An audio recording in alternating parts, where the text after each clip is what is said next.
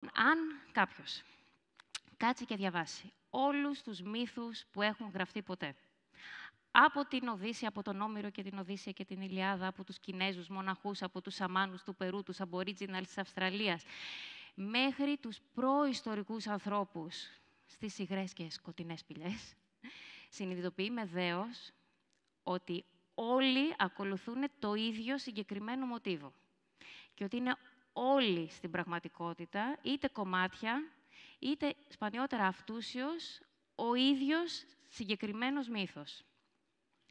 Σε αυτό λοιπόν το συμπέρασμα, το όντως συγκλονιστικό, πραγματικά κατέληξε ο Τζόζεφ Κάμπελ, μια κολοσσία μορφή του 20ου αιώνα, σύμφωνα με τον οποίο οι μύθοι ήταν σαν, είναι σαν τα κωδικοποιημένα μηνύματα που βρίσκονται μέσα σε ένα μπουκάλι από μια ακτή που κάποιος άλλος έχει περάσει πριν από εμάς και βοηθάνε τον ταξιδιώτη να κάνει και εκείνος το πέρασμα. Και να δείξουν και ποια, μας δείχνουν και ποια είναι η ομορφιά στο ταξίδι. Γιατί το ταξίδι του ήρωα, αυτός ο ένας, ο μοναδικός μύθος, βγαίνει από μέσα μας. Είναι γραμμένος μέσα στη φύση όλων των ανθρώπων, βγαίνει από το ασυνείδητό μας, δεν χρειάζεται κάποιος να κάτσει να σκεφτεί τι παραμύθι να κάτσω να γράψω τώρα. Υπάρχει γραμμένος μέσα μας, όπως είναι τα ένστικτα... Τι είναι αυτό, τα άλλαξε ο Κωνσταντίνος. Okay. ε, όπως τα ένστικτα είναι γραμμένα στο DNA μας, το ένστικτο του θυλασμού, το ένστικτο του δραγμού και βοηθάνε το ανθρώπινο είδος να επιβιώσει. Αντίστοιχα, είναι γραμμένο μέσα στη φύση μας το ταξίδι του ήρωα, γι' αυτό και μας κάνουν κλικ οποιαδήποτε, ε, οποιοδήποτε παραμύθι, οποιοδήποτε μύθο τέτοιο να ακούσουμε. Γι' αυτό έκανε τέτοιο τεράστιο πάταγο, εννοείται το Star Wars, το οποίο μάλιστα έχει γραφτεί επί τούτου σε κάθε στάδιο και υποστάδιο του ταξιδιού του ήρωα. Δεν γράφτηκε τυχαία. Και γι' αυτό και έκανε τόσο πάταγο και ο Χάρι Πότερ, εννοείται έτσι. Ε, το ταξίδι λοιπόν του ήρωα έχει αυτά τα τρία βασικά στάδια αναχώρηση, μίση, το στάδιο των δοκιμασιών και επιστροφή. Μια φορά και έναν καιρό, λοιπόν, ένας μύθος των Ινδιάνων λέει το εξής. Μια φορά και έναν καιρό ήταν μια κοπέλα, η οποία πανέμορφη κοπέλα, και η μητέρα της ήθελε να την παντρέψει. Εκείνη όμως απέρριπτε τον έναν μνηστήρα μετά τον άλλον, γιατί όλοι της φαινόντουσαν συνηθισμένοι και κοινοί και δεν της άρεσε κανένας. Μία μέρα λοιπόν, εκεί που πηγαίνανε στο δάσος να μαζέψουν ξύλα με τη μητέρα της, βαθύ σκοτάδι απλώνεται στο δάσος. Εμφανίζεται μπροστά τους ένας εκθαμβωτικός νεαρός με μαύρα φτερά στο κεφάλι και της λέει: Θέλω να σε παντρευτώ. Και η κοπέλα λέει: Δέχομαι. Την παίρνει, παντρεύονται, την παίρνει στην καλύβα του, τη γνωρίζει εκεί πέρα τους διάφορους, όλα καλά και όλα ωραία. Η κοπέλα αισθάνεται μια χαρά. Την επόμενη μέρα τη λέει: Πάω για κυνήγι. Ε, βγαίνει έξω, ακούγεται ένας εκοφαντικός θόρυβος, περνάει όλη την ημέρα μόνη της. Το βράδυ ανοίγει πόρτα και μπαίνει μέσα ένα τρομακτικό ερπετό, τεράστιο ερπετό με κέρατα στο κεφάλι, ξαπλώνει το, πόδι του πάνω στο, στο, το κεφάλι του πάνω στο πόδι της και της λέει: Είμαι γεμάτος ψείρες. Θα μου βγάλεις τις ψείρες. Και λέει η κοπέλα: OK. Okay. Του βγάζει τις ψείρες, βγαίνει το ερπετό, κλείνει η πόρτα πίσω του, ακούγεται ο ίδιος εκκωφαντικός θόρυβος, ξανανοίγει η πόρτα, μπαίνει μέσα ο σύζυγος. Και της λέει: Τρόμαξες έτσι όπως με είδες. Και η κοπέλα λέει: Όχι. Την επόμενη μέρα γίνεται πάλι το ίδιο. Την τρίτη μέρα αποφασίζει να βγει έξω στο δάσος, βγαίνει έξω στο δάσος και βλέπει πάνω στο βράχο δίπλα της ένα ερπετό κι άλλο, ερπετό κι άλλο, ερπετό κι άλλο, ερπετό κι άλλο, ερπετό και αρχίζει και αισθάνεται πάρα πολύ άσχημα. Και αρχίζει και λέει: Πρέπει να φύγω από εδώ πέρα, πρέπει να ξεφύγω. Τι θα κάνω. Πάνω εκείνη την ώρα, πάνω σε εκείνη την ώρα, εμφανίζεται ένας γέρος και της λέει: Κοπέλα, έχεις μπλέξει πάρα πολύ άσχημα. Γιατί ο άντρας που παντρεύτηκες είναι ο μεγαλύτερος από 7 αδέλφια, μάγους, ερπετά, που ζουν σε σώματα χωρίς καρδιά. Και ο μοναδικός τρόπος για να ξεφύγεις είναι να αρπάξεις το σακί με τις 7 καρδιές που βρίσκεται κάτω από το κρεβάτι και να τρέξεις όσο πιο γρήγορα μπορείς. Πράγματι, λοιπόν, την επόμενη μέρα αρπάζει το σακίρ και αρχίζει και τρέχει και τρέχει και τρέχει και τρέχει, όσο από πίσω της ακούγεται η υπόκοφη ε, φωνή και τα ουρλιαχτά. Νομίζεις ότι μπορείς να ξεφύγεις, αλλά στην πραγματικότητα ποτέ δεν θα ξεφύγεις. Και ενώ αρχίζει και τρέχει, αρχίζει και κουράζεται και εξαντλείται και αρχίζει και απελπίζεται, εμφανίζεται πάλι ο γέρος, την αρπάζει από το χέρι και τη βγάζει έξω από το νερό και έξω από το ποτάμι. Από το νερό που μέχρι εκείνη τη στιγμή δεν είχε συνειδητοποιήσει ότι βρίσκονταν. Ο μύθο τελειώνει με τον ε, γέρο, ο οποίος κάποιος ήταν που ξέχασα, να της λέει: Παιδί μου, έχεις αποκτήσει τεράστια δύναμη με αυτή σου την πράξη. Με βοήθησες να απαλλάξω τη γη από αυτά τα ερπετά και θα χρειαστώ τη βοήθειά σου, μπορεί να χρειαστώ τη βοήθειά σου ξανά.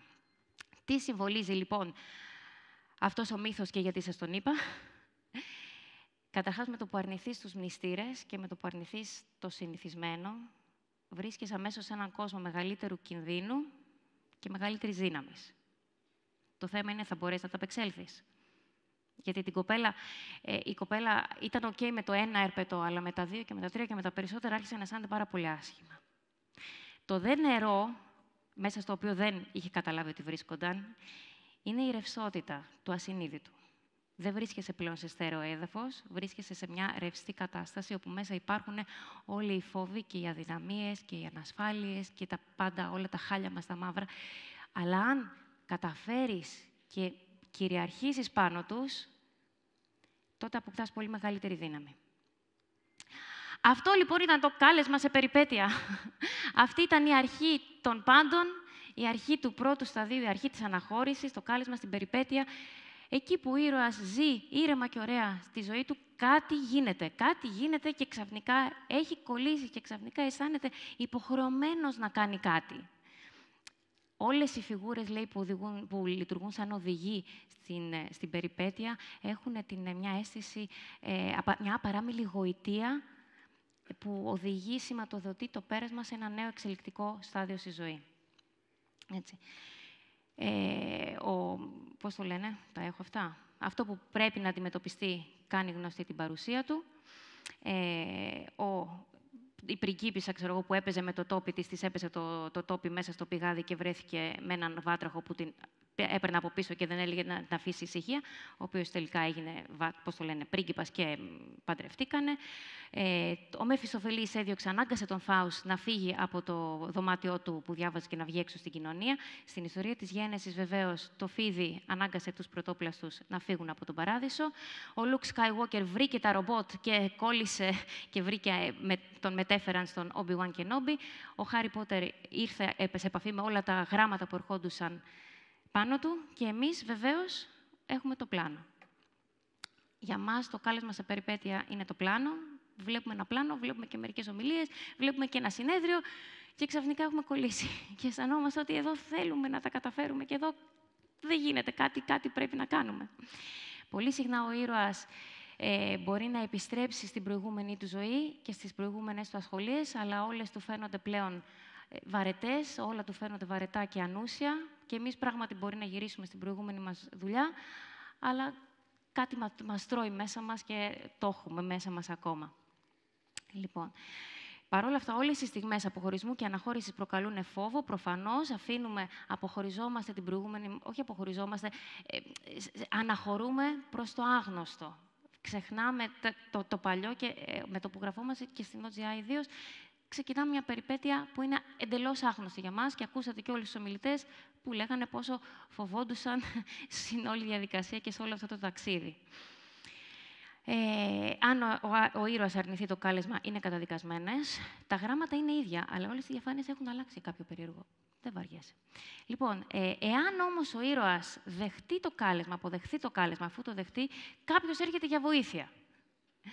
Είναι η κλασική γριούλα και ο γεράκος του παραμυθιού. Είναι ο Χάγκριτ στο Harry Potter, είναι ο Obi-Wan Kenobi ε, στο, στο, πώς το λένε, στο Star Wars και σε εμάς η υπερφυσική βοήθεια είναι η γραμμή αναδοχής που είναι εδώ να μας πει κάθε φορά μην κάνεις αυτό γιατί το δοκιμάσαμε και δεν δουλεύει, κάνε το άλλο που δουλεύει καλύτερα, να μας ενθαρρύνει, να μας πει τα ενθαρρυντικά λόγια, να μας δώσει ένα χέρι βοηθείας και να μας βοηθήσει να πάμε παρακάτω.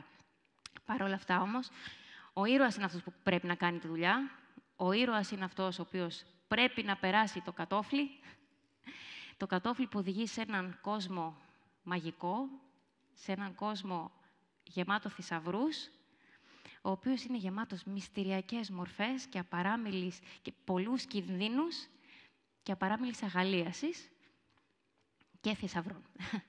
το, το κατόφλι όμως λοιπόν το φυλάνε άγριοι φύλακες το φυλάνε δράκοι και τέρατα και γίγαντες και ερπετά και μάγοι και μάγισσες και ό,τι πιο άγριο υπάρχει στο κατόφλι.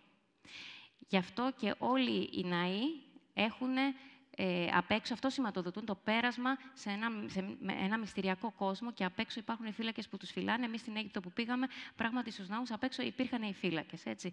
Ε, στον Οδυσσέα, ε, ο, πώς το λένε, ο φύλακας του κατοφλιού ήταν ο Πολύφημος.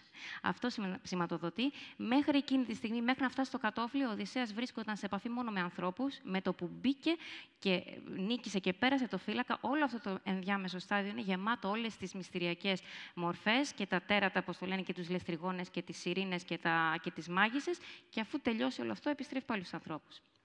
Λοιπόν, για μας το πέρασμα του κατοφλιού είναι το πιο τρομακτικό μέρος της δουλειάς μας είναι τα εγγένεια. Προφανώς πρέπει να πάρουμε τους γνωστούς μας και καμία επιθυμία δεν έχουμε. Είναι αδιανόητα τρομακτικό, γιατί όλοι φοβόμαστε τι θα πούνε, που μας έχουν μάθει με έναν τρόπο και θα τους εμφανιστούμε σε ένα, με έναν διαφορετικό τρόπο. Και είναι το πιο τρομακτικό μέρος. Είναι αυτό που θα καθορίσει το αν θα πετύχουμε; Σίγουρα όχι. Πάρα πολλοί έχουν κάψει τις λίστες τους εντελώς. Καλή ώρα η Βιβί είπε, έκαψα όλη μου τη λίστα και παρόλα αυτά είναι εδώ μαζί μας, έτσι. Ε, παρόλα αυτά, αν δεν περάσει αυτό το στάδιο, δεν μπορείς να πας παραπέρα. Γιατί, γιατί πρέπει να, να αποδείξεις ότι θέλεις να κάνεις το βήμα μπροστά και ότι είσαι έτοιμος να παλέψεις ψυχολογικά. Ότι είσαι έτοιμος να, να δώσεις, να παλέψεις για αυτό το πράγμα. Υπάρχει ένα ακόμα στάδιο που ο ήρωας πρέπει να περάσει πρωτού μπει στο στάδιο των δοκιμασιών και αυτή είναι η κοιλιά του Κίτους. Τον Ιωνά τον κατάπια η Φάλαινα, τον Πινόκιο τον κατάπια η Φάλαινα, το Ρέιβεν έναν Ιρλανδέζικο ήρωα τον κατάπια η Φάλαινα, την ε, γιαγιά της κοκκινοσκουφίτσας την κατάπια ο Λύκος. Ε, τον Οδυσσέα μετά τον Πολύφημο αμέσως κρύφτηκε, βγήκε έξω κάτω από την κοιλιά και πάλι του προβάτου. Αυτό συμβολίζει τι, το ότι αντί ο ήρωας να ε, παλέψει και να νικήσει με το φύλακα ή να συμβιβαστεί και να συμφιλειωθεί μαζί του, απορροφάται προς το άγνωστο. Είναι όταν, όπως όταν εμείς απορροφόμαστε από ένα στόχο και το μόνο που μπορούμε να σκεφτούμε είναι ο στόχος. Ε, πολύ καλό. Αυτά είναι όλα τα στάδια της αναχώρησης. Και φτάνει η στιγμή που ο ήρωας μπαίνει τέλος πάντων στο στάδιο των δοκιμασιών, όπου και πάλι όλα τα τέρατα και όλες οι φρικαλές δοκιμασίες συμβαίνουν στο στάδιο των δοκιμασιών. Είναι, φανταστείτε το Θεό της Παλαιάς Διαθήκης, που είναι ένα υποστάδιο πράγματι της μύσης. Όλες οι φρικαλές δοκιμασίες συμβαίνουν εκεί. Ε, εμείς προφανώς έχουμε να παλέψουμε με όλες μας τις αδυναμίες και όλες μας τις ανασφάλειες. Ε, έχουμε να μάθουμε να μιλάμε με, κόσμο, έχουμε να μάθουμε να συγχρονιζόμαστε με κόσμο, ε, έχουμε να, να μάθουμε να βάζουμε διαφημίσεις, ξέρω εγώ, να καταπολεμήσουμε την αδράνεια και την κούρασή μας και κάθε μέρα να παίρνουμε αυτά τα βαρετά τηλέφωνα και να έχουμε αυτοκυριαρχία πάνω στον εαυτό μας.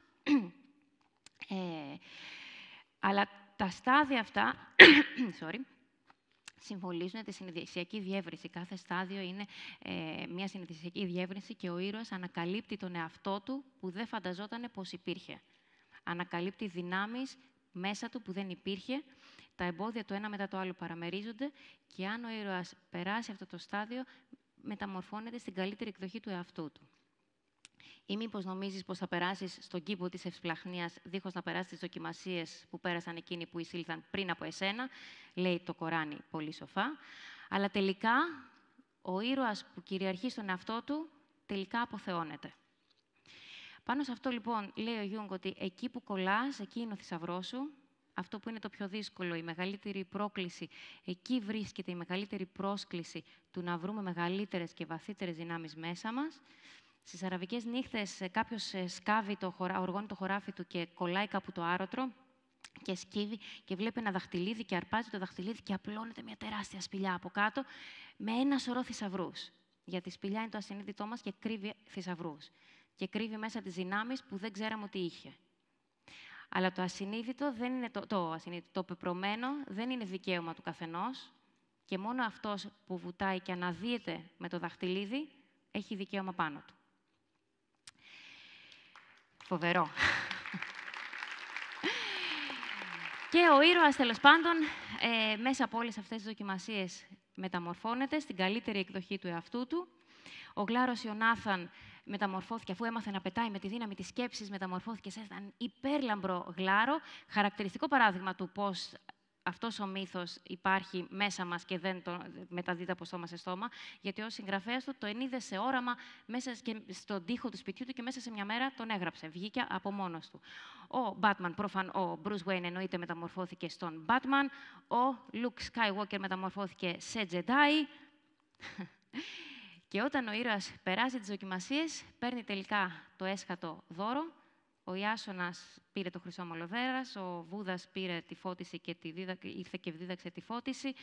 Ε, ο Μπάτμαν γύρισε να σώσει το Gotham City και εμείς θα γυρίσουμε να, να, ε, όντας κυρίαρχοι του εαυτού μας και του περιβάλλοντός μας, θα γυρίσουμε στην κοινωνία να βοηθήσουμε την οικογένειά μας και τους φίλους μας και την κοινωνία μας με όποιο τρόπο μπορούμε. Ε, αυτά είναι όλα τα στάδια της μοίησης. Επιστροφή. Είμαστε τυχεροί που είχαμε το κάλεσμα, για να είμαστε εδώ το ακολουθήσαμε κιόλας και μας οδηγεί σε έναν ε, τρόπο αυτοπραγμάτωσης και ευημερίας. Αυτά είχα να πω. Ευχαριστώ. Εξαιρετικά καλή. Thank you, honey.